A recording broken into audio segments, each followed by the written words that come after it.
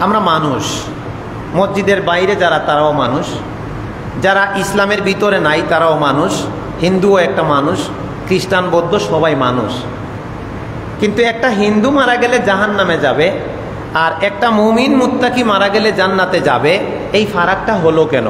আর এই ফারাকটা বা এই পার্থক্যটা তৈরি হলো কোথার থেকে? আমরা জানলাম থেকে এবার যদি আপনি এই পরের আয়াতগুলিতে চলে যান, তাইলে এই পার্থক্যটা আমাদের সামনে আল্লাহ তুলে ধরেছেন।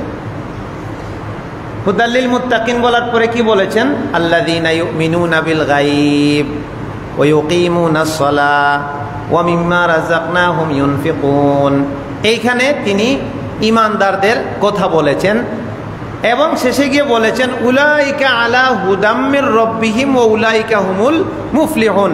এরাই হেদায়তের উপরে আছে, এরাই সফল হয়ে যাবে, এরাই দুনিয়া আখেরাতে কামিয়াব হবে, এরাই জান্নাতি হবে সুবহান আল্লাহ তাহলে এই মেসেজ এই তথ্যটা আমরা আল্লাহর কোরআন থেকে পেয়ে গেলাম। এটা এক থেকে পাঁচ আয়াত পর্যন্ত এই বক্তব্য।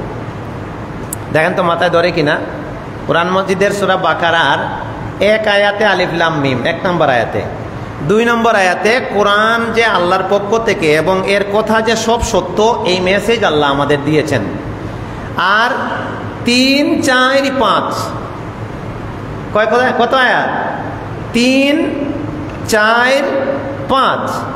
এই আয়াতগুলোতে আল্লাহ আমাদের যেটা জানাইছেন যে এই পৃথিবীতে একদল মানুষ আছে যারা আমার প্রতি, আমার কিতাবের প্রতি নবিরাসুলদের প্রতি ইমান রাখে। এরা মুত্তাকি আর এরা আসলে সফল মানুষ সোহান আল্লাহ এর ঠিক পরে ছয় নম্বর আয়াতে গিয়ে আল্লাহ আরেক দলকে ভাগ করে ফেলেছেন। এটা কি? ইন্নাল্লাযীনা কাফারু সাওয়াউন আলাইহিম আনজারতাহুম আম লাম তুনজিরহুম লা ইউমিনুন। খাতামাল্লাহু আলা কুলুবিহিম ওয়া আলা সামঈহিম ওয়া আলা আবসারিহিম গিশাওয়া ওয়া লাহুম আযাবুন আযীম। এই আয়াতে আল্লাহ বললেন, কিছু মানুষ কাফির, ওই আগের মানুষের বিপরীত, ইমানদার না। এদের ব্যাপারটা হচ্ছে তাদের অন্তরে মোহর পড়ে গেছে। কি পড়ে গেছে? মোহর পড়ে গেছে। এখন তাদেরকে হেদায়ত দিলেও এরা হেদায়ত নেয় না। এরা বক্তব্য শুনে না। শুনলেও এটা তাদের মধ্যে অ্যাকশন করে না।